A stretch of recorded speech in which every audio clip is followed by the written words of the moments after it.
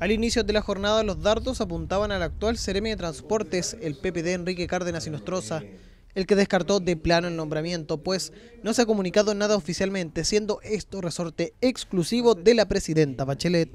Eso no es cierto.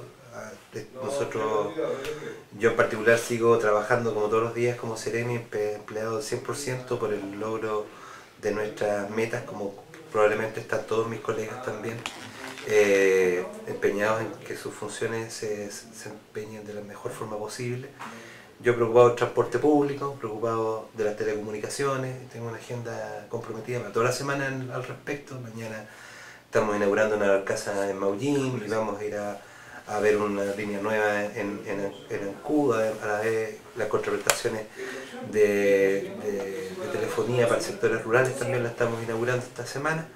Así que nada, pues, esperando que, la moneda cuando, cuando crea que es oportuno encuentre la persona eh, adecuada, la presidenta defina eh, quién va a liderar ya en forma titular la región y preparado para ponernos al servicio de eso.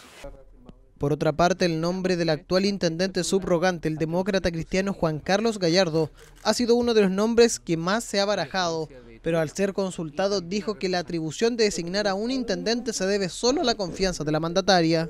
Bueno, nosotros seguimos trabajando, como ustedes se, han dado cuenta, en forma normal en la región, llevando adelante todos los distintos temas.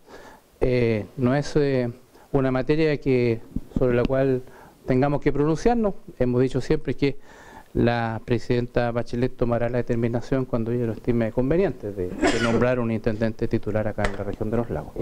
Entre otros nombres suena el de la actual jefa de gabinete de la presidenta Bachelet y ex delegada presidencial para Chaitén, Paula Narváez, el ex director de la ONEMI en la región de los lagos, el PPD Guillermo Núñez, o el actual subsecretario de Obras Públicas y ex intendente Sergio Galilea. Ahora solo queda esperar lo que determine la primera autoridad del país, ya que es solo ella quien puede designar al nuevo jefe regional de los lagos.